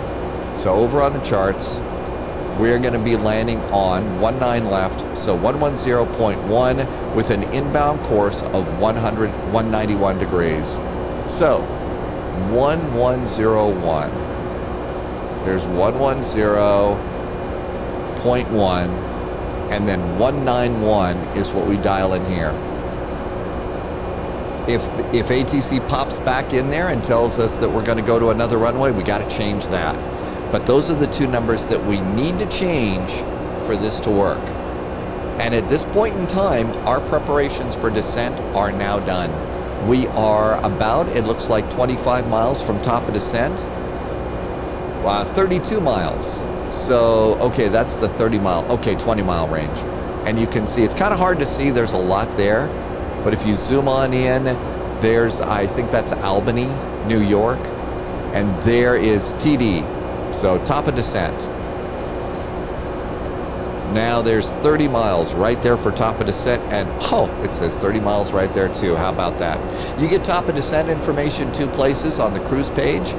You'll also get it over here on the progress page. Uh, fuel has dropped just a little bit. We're at 9.5 as far as our fuel for landing. I think we're not at our optimum flight level. What's our optimum? Uh, optimum is flight level 390, max is 420, we're at 380. So we may be losing a little bit of gas there because we could be a little bit more efficient at the moment. but we're well above uh, minimum, so we don't have to worry about that. You can see decision height is now set in here. We've uh, now we've also got glide slope and localizer information showing up here in the primary flight display because we've dialed that in. If I would go down here and uh, zero this out, see how it all went blank and see how it's gone. So we've uh, activated. So 110.1, 191 is back, and there's our information back. How about that? Okay, so everything's looking good here. Depending upon the pilot, uh, sometimes pilots will uh, make their final little announcement and stuff at right at top of descent. Sometimes they'll usually make it a little bit before. So one of the things that I kind of think is the nice way to do is uh, we'll make our announcement back to the cabin. And information that we're going to have for them is our weather information. So we're going to have our weather in front of us and turn on the microphone and say, hey folks from the flight deck, uh, we're uh, about 100 mile, uh, about uh, 10, 15 miles away from our top of descent. Uh, we'll be uh, starting our descent into Washington Dulles. Weather at Dulles is pretty good, good visibility. A little breeze out of the west, not too bad. It is currently, and this is where they'll, they'll do a little math. It's 29 degrees Celsius, and American Airline is going to tell you it's about 85 degrees at Dulles right now. So, you know, a little fudge factory. They always say it's about. And the only reason that I know that is I've got a little conversion table that I made over here. So I've got my little conversion table. So, you know, it's about 85 degrees. Uh, we'll be landing to the south today. Our uh, arrival gate is going to be Charlie 6. And does look like we're going to be uh, in the air for just a few more minutes. They'll look down here. So right now the airplane is saying we'll land at 1503 Zulu. Is 1436, so we'll say we're going to have you on the ground in about half an hour. Certainly want to thank you for flying with us today. And at this point in time, my little arrival announcement will also include. I certainly want to thank you for uh, watching the video today here on YouTube.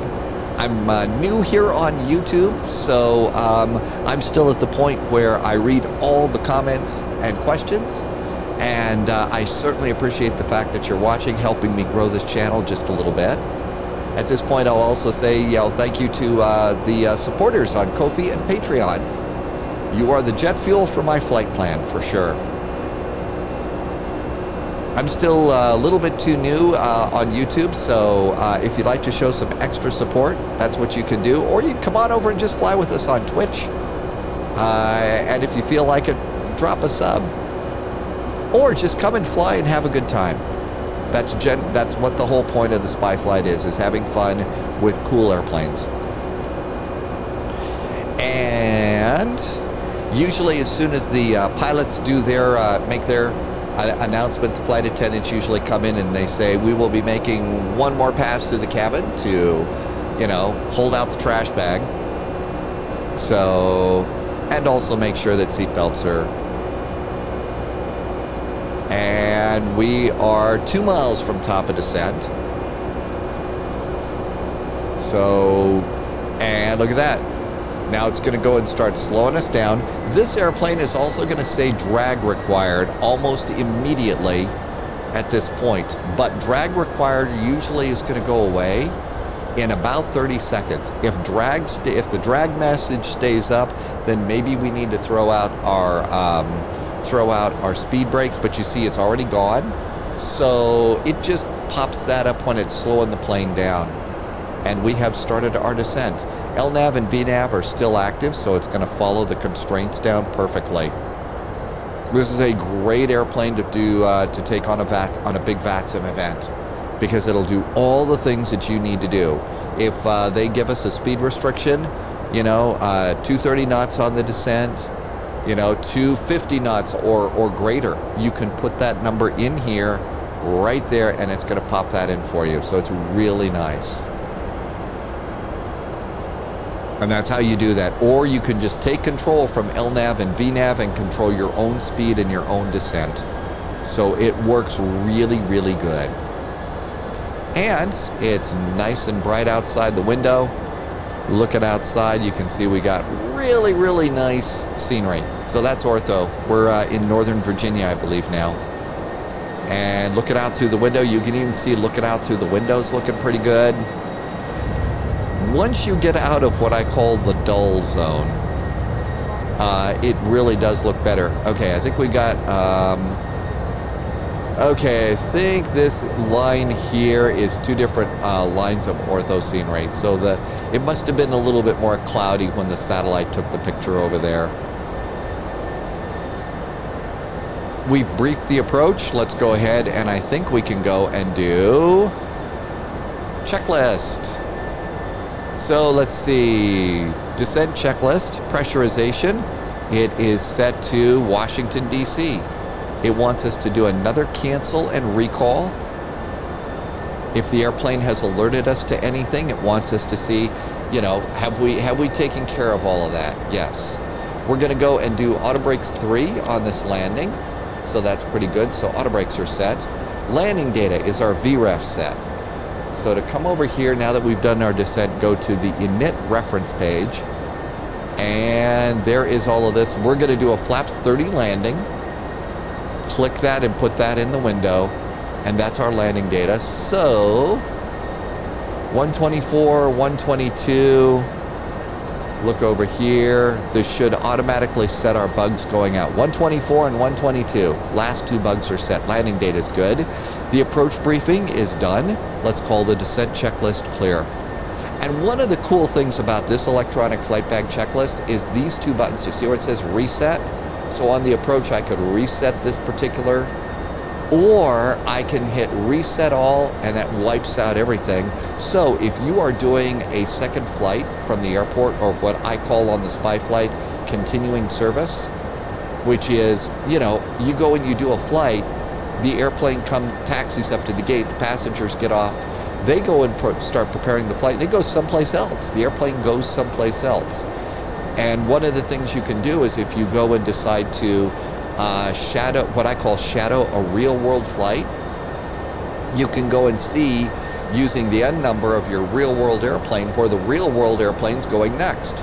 And you can follow along and uh, follow that airplane. Uh, you could follow the airplane through two or three cycles, uh, two or three flights during the day. And uh, you'd probably be kind of amazed to see where the 737 that's sitting at your hometown airport, getting ready to do the first flight of the day into the big city, where all that airplane goes each day. So that's kind of a really, you know, sometimes people will say, well, what now that you know how to fly the plane, you know, what do you do? Well, the next thing you do is start learning to fly the way the real pilots do going, uh, start uh, jumping into rabbit holes with uh, planners like Topcat. Um, and diving in deeper into uh, some of the things that you'll get in the electronic flight bags um, in, the, in the Fenix and, uh, and soon uh, into the PMDG. Fact is, that's kind of what I'm looking forward to doing today is, um, you know, going and planning a flight with the PMDG 737-700 and I'm going to use TopCat for my speeds and see how all that works. If you'd like to see that flight, uh, that might be a great comment to make in the uh, comment section here on YouTube or come on over to the Spy Flight and tell me. Says, yeah, what finally happened with that? You know, if that's the kind of rabbit hole that you might be interested in. Airlines have different policies and stuff. Um, I don't know what United's is. My general policy as a sim captain is around 25,000 feet. That's when I start thinking about turning on the seatbelt sign. Now, real, did you see uh, another tangent here? Did you see the, the, the clouds flash, you know, and change? That's the weather update, which is, you know, please, please, please, developers, there's got to be a way to make weather not do that. I don't know what the answer is, and that's probably a really, really big developer wish, but it would sure be nice. Okay, everything's looking good here. And I totally forgot what it was that I was yammering about. Let's see, what was I just uh, Okay, it, it's it's gone poof. Clearly I need more coffee. If you remember, I, I, could go and rewind the videotape, but I'd have to the, the recording and stop, but that would just be awkward. So I hope it wasn't too important. Nothing really to change here. Okay, here's an awkward thing for me on this older airplane. Okay, and this is the way the airplane works. Okay, this is not a bug. This is not a problem. You see over here on the radio, you got the transfer switch and two big knobs. So let's say we are talking on 1 to 2.8.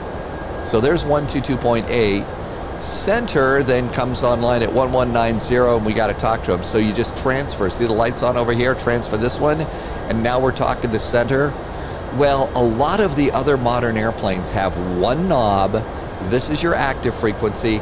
This is your next frequency, your standby or whatever. This one, it's back and forth.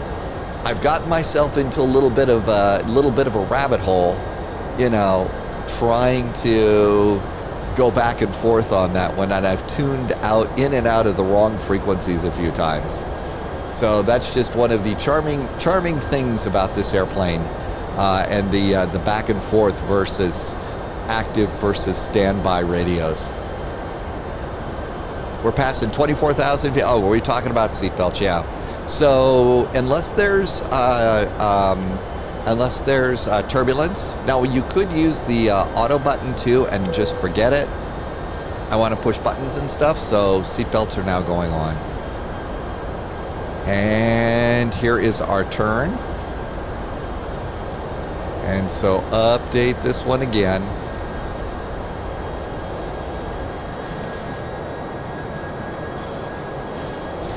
Might have noticed that in the uh, checklist and all, I've, we've got our auto brakes set. I have not armed speed brakes. So at this point in the flight on our descent, we might need the speed brakes if they all of a sudden say, uh, give us your maximum rate of descent or something because something changed.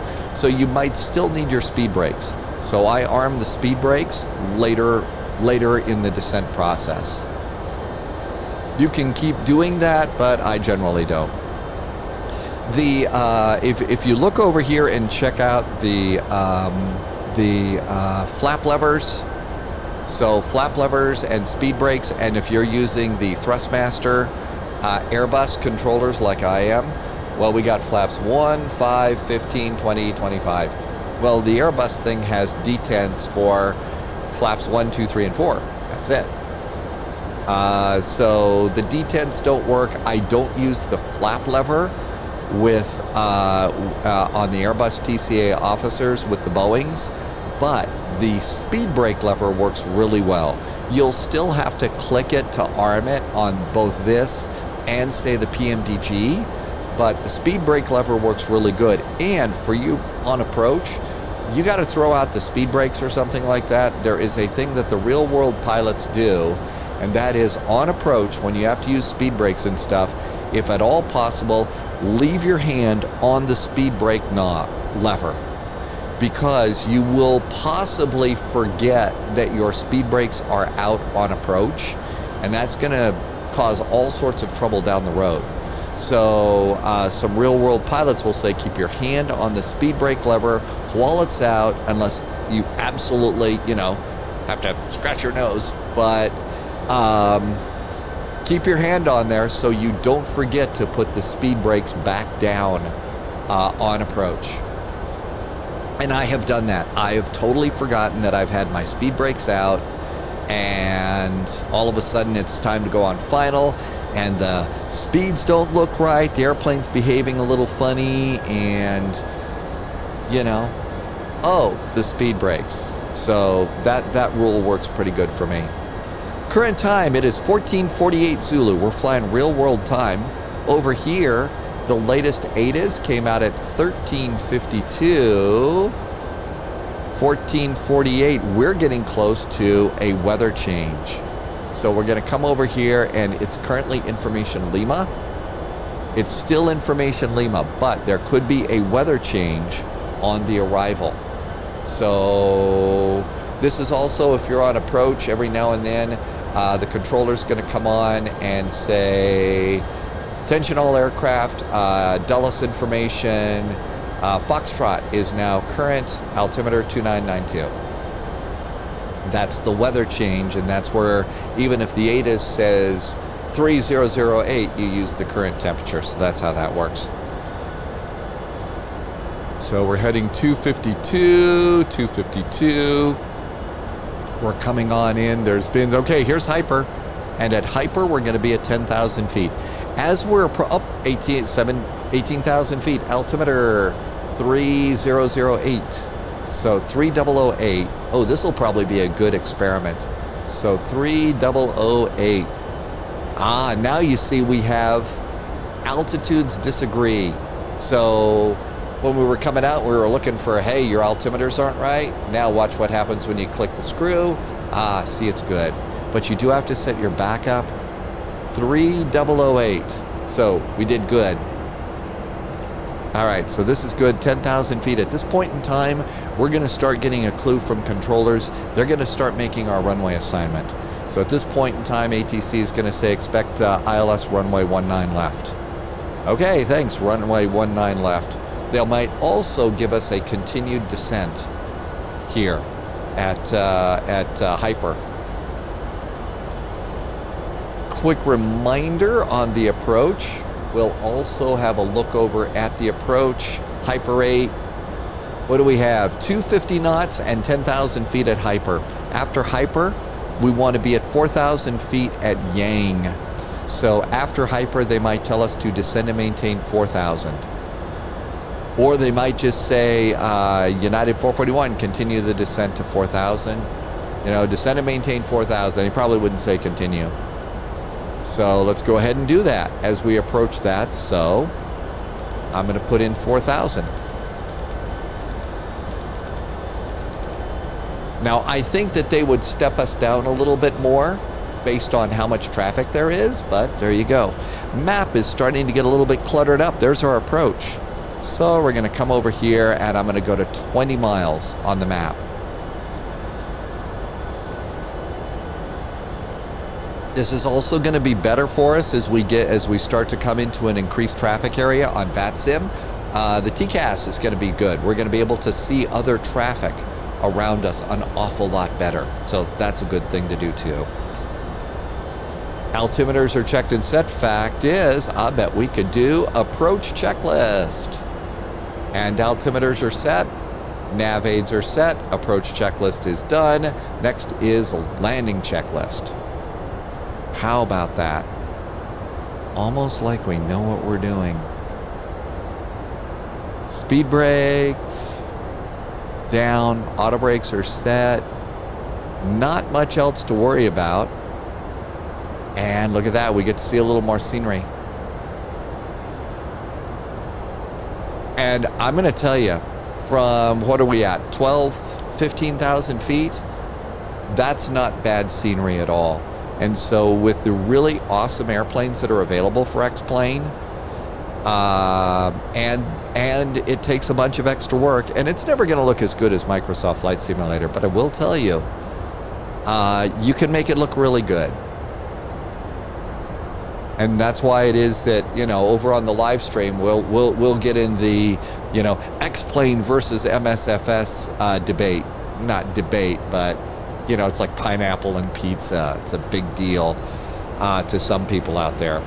Um, it's why it is that I'm not counting uh, X-Plane out of the equation yet. Can't wait to see what they do, and with really awesome airplanes. That being said, I will tell you that there are things at Microsoft. The visuals are great. They make multiplayer a breeze. So you can go with your friend uh, from halfway around the world and you can go and do a, uh, an airplane flight with your friend halfway around the world. I got one of the best flight sim experiences slash tours I've ever gotten. I have a friend who uh, lives in Greece, and I got a an airplane tour over simulated Greece on flight sim, and uh, you know she was saying this is this, this is that, this is so cool. And uh, you know, so that is that is where Microsoft Flight Simulator just goes, you know, blows everybody out of the water. Okay, the FMC wants uh, speed brakes out. We're we're slowing down pretty good. I don't, you know, I think that maybe the speed brake command is a little bit, you know, the speed brake notification is might be a little bit oversensitive on this airplane. So unless I'm not slowing down, I generally don't do anything with that. Approaching 10,000 feet, we're going to go ahead and do landing lights. We're going to preload that nose light, and I'm going to also ring the bell. You ring the bell on this airplane with the no smoking light, which in most modern Boeing jetliners, since smoking's prohibited on airplanes, they've gone and, you know, replaced the no smoking light with the Wi-Fi light uh, that, you know, automatically goes on and off. But for the pilots, this is just this is just a ring the bell. Let's see, we should have locked the uh, cockpit door after our little tour. And we're coming on in. Reset this. There we go, 221. And we are continuing our descent. So we have to be at 5,000 feet at Oogle. Ogle, Oogle, I guess. So we're going to easily make 5,000 feet. We're going to be doing pretty good at Liddy and Yang, and by that time we should start to pick up the ILS. Go ahead and remind ourselves the airplane says landing speeds 122. Of course, I always add a little bit to that. So says 122. I'm going to add some. I also get to be a little bit of a control freak about now. And usually uh, by now, uh, air traffic control is telling us to maintain certain speeds. So I might go ahead and go to vertical speed so that I can go to, usually they're telling us about 210 knots. And then I will use my vertical speed to make sure that I hit that 4,000 feet at Liddy. You can see the, uh, the little banana line here. So that's how it is that I will do that. Now, you notice I did go to 210 knots, but we're not slowing down. So now might be a great opportunity to do speed brakes. So there's some speed brake.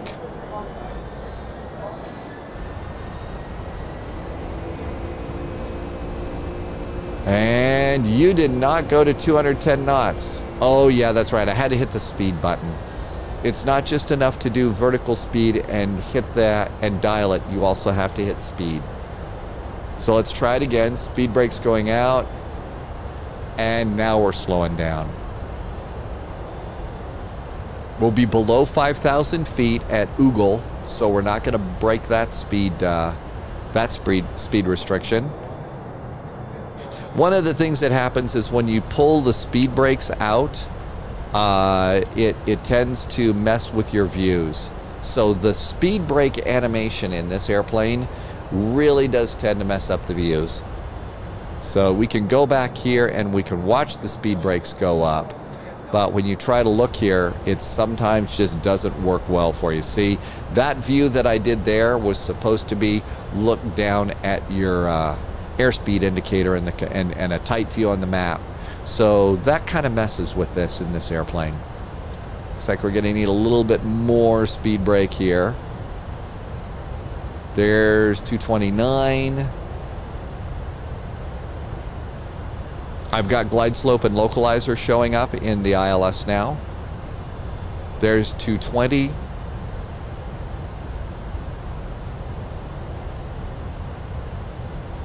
That's probably pretty good at the moment.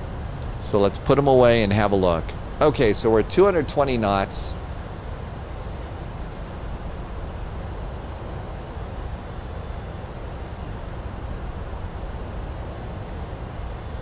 I'm just trying to show you. One of the best things to do is look over on the, look up here for placarded speeds for flaps.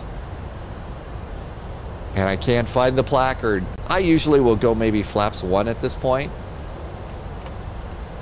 That's going to help me keep a little bit of control of my speed as we go on down.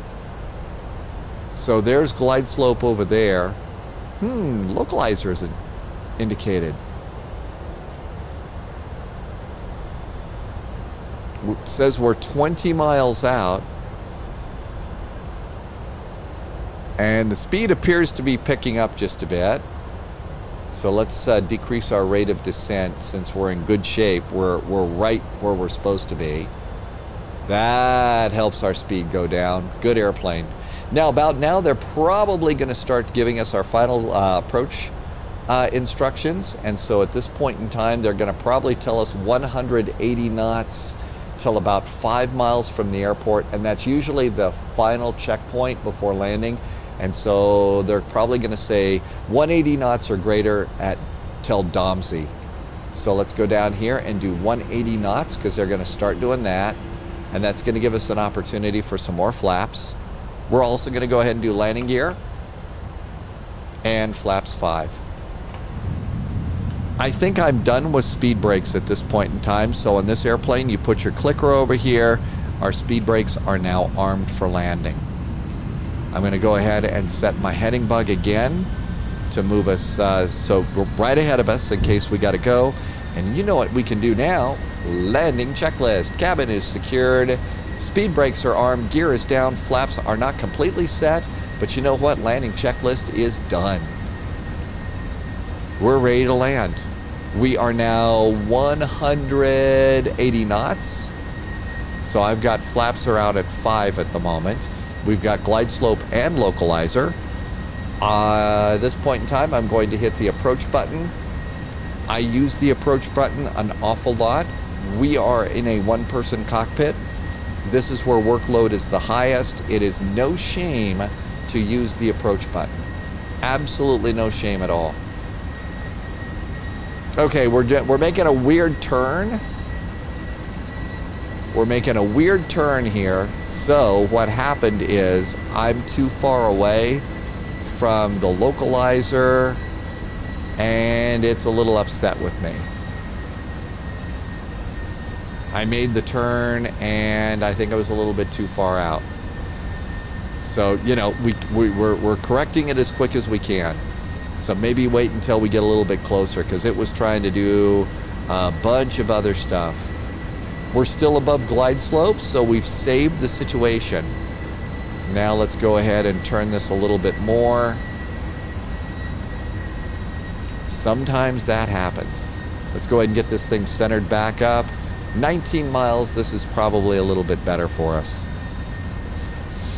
So it was currently doing something else.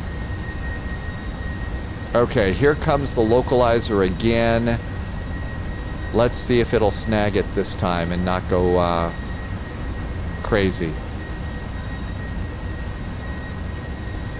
Localizer is armed. Glide slope is set. Glide slope is armed. Localizer, it's capturing. So I probably hit that button a little bit too soon. Checklists are good. One of the things we do over on uh, Twitch is they uh, people that are watching can say do posture check, stretch. Posture check is really a good idea in the world of flight simming because if you're on a long flight, you move around in your chair, but now you got to be seated correctly. You got to be able to get to your uh, flight controls. So we'll go ahead. It's setting us up there. We are at 4,000 feet. Everything's looking good. Some of the last things that I will do is I will come over here and uh, if we're good on the approach, which we are, I'm going to go over here and now click the airport button. And I'm going to go ahead and move this over to where we're going to be going. So Kila 7, we're going to go back on Kila. There's our gate. So I have that set over there and it's all ready to go. The other thing I'll do is I will look up at um, the um, the communications client, uh, vPilot or XPilot, and see if ground so by now we're getting kicked over to tower. If there's ground, I want to set that in my standby frequency because we're really busy at that point in time. And when you're doing several other things, that's usually when tower says, exit right when able, contact ground. Hey, I, I have time. There's That's the co-pilot supposed to do that. So pre-setting ground really helps you out. Final check over here, we're gonna go 10 miles. And there's Domsey, so 180 knots or greater until Domsey. Then our final approach speed, 122. I always add a little bit to that, so we're gonna redo the speed to 125. and we're now capturing glide slope. Airplanes coming down, and as usual, we get closer to the ground, and the haze and probably the air pollution and being under the clouds kicks in, and we're back to, you know, super gray, which is not fun. Okay, we're doing good there. Five miles to Domsey. Sometimes what the airplane, what the controllers will say, contact tower at Domsey. Or maybe contact tower 10 miles or something like that. That's been known to happen. There's 194.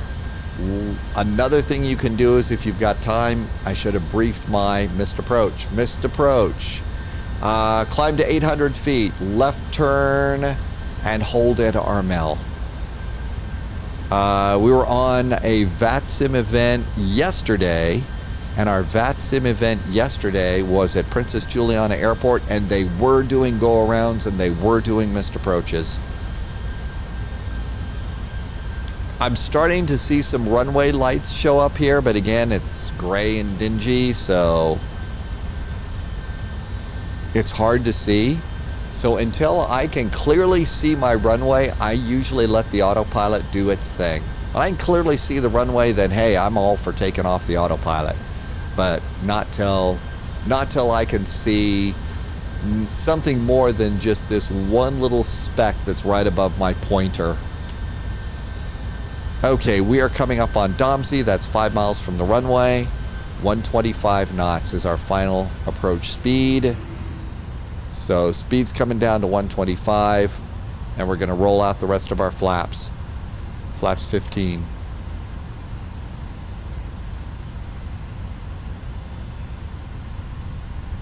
Speed's rolling it down.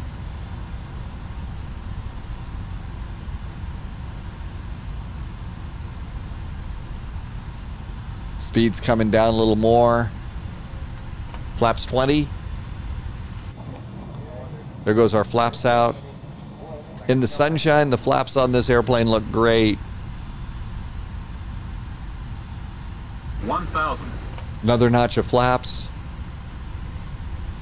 It is really forgiving. I'm probably rolling them out just a little bit fast right now. But we're sim pilots and I'm going to be busy. So I try and get these set. Sitting back in my chair, making sure it doesn't uh, lean back. We're established on our speed, flaps out. I got three green. At this point in time, I'm gonna, the last thing I do is look at the wind indicator. Winds are ahead and to the right at five knots. I see the runway, I can see it clearly now. Autopilot goes off. Click it twice to silence the alarm. We're gonna get ready to go and do auto throttles. But mostly I'm gonna go and keep my auto throttles on until almost before touchdown. Looking at the PAPI lights, we're getting a little high over the parking lot. That's got to be a great plane spotter parking lot. Minimums, landing. If we were in an Airbus, we would have said continue. And see, now all of a sudden the, the sky's cleared up, and look at how nice this looks. 50, 40, 30, 20, 10,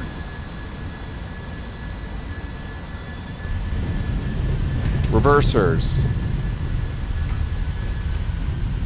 Reversers are yellow, green. That took a little long.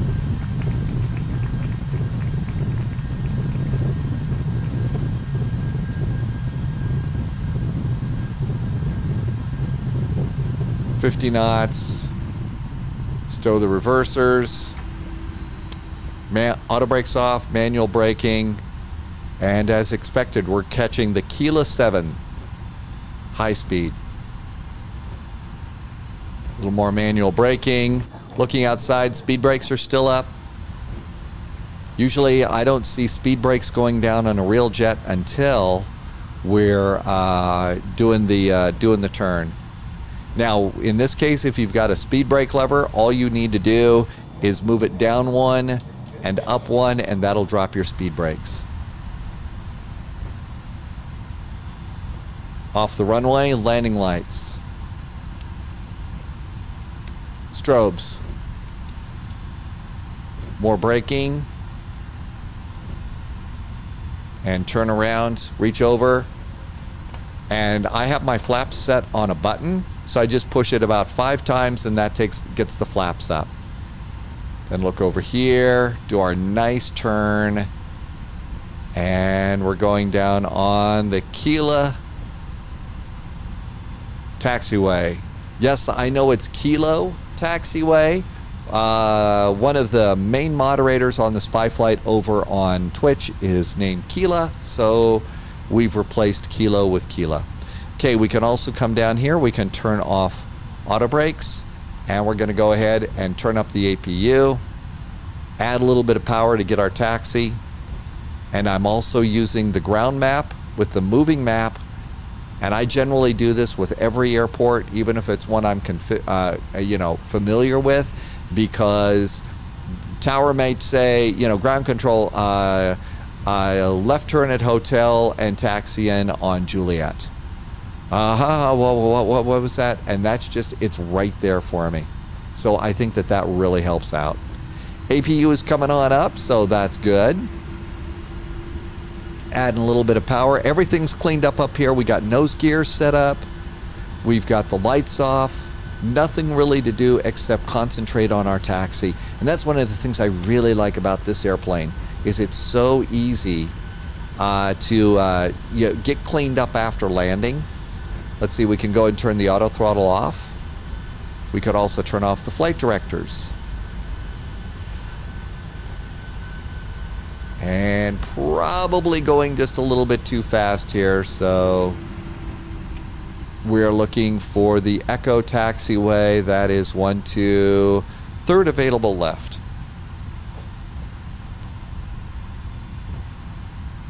As we come on into the Washington DC airport this is a payware airport. It is a particularly nice payware See, if we wanted to be good pilots at this point, we would go down to altitude off, which I believe in uh, the other airplanes uh, is called transponder in the uh, PMDG. So we've stopped altitude reporting, but we should still be showing up on their screens.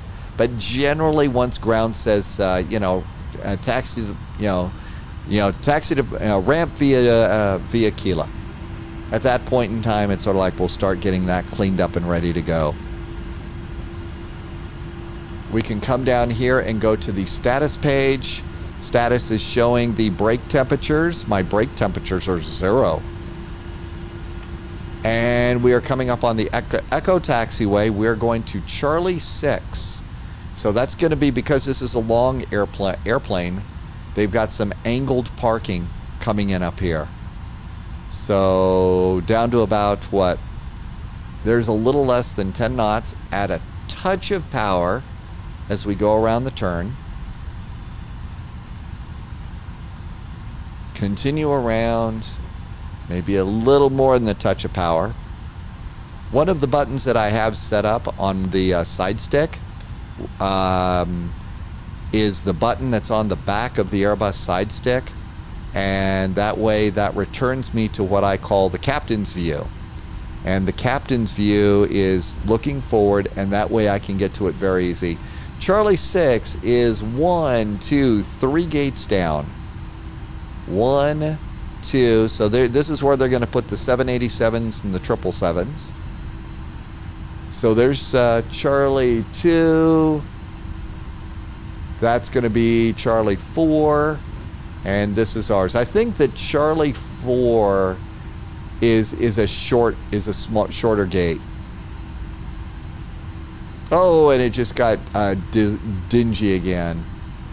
And so we're going, there's ours. In the real airport, this is at an angle. This one looks like it's straight on, but I think we'll be fine. Throttle it down just a little more. There's Charlie 4. Start a gentle turn. Charlie 6, there we go. The reason that I chose Charlie 6 is over on FlightAware. FlightAware showed uh, showed me that the flight from uh, uh, Boston that day uh, was coming in here. You saw I just turned off the nose light. Uh, somebody that watches and flies with us over on Twitch uh, is a professional airplane wrangler. They they do they do bring in airplanes, and they said, "Would you please, please, please, would you please, please, please stop blinding us?" And there we go. Parking brakes. Parking brakes are up. The APU is already up. The generator is up. So we can go ahead and come on down here and do engines. Transponder goes off. Beacon goes off. Let's go ahead and we're going to turn on the isolation valve. Let's do seat belts. Passengers want to get up. Let's go over here, disarm the emergency exit lights. So those are good too. We will turn off the uh, fuel pumps over here.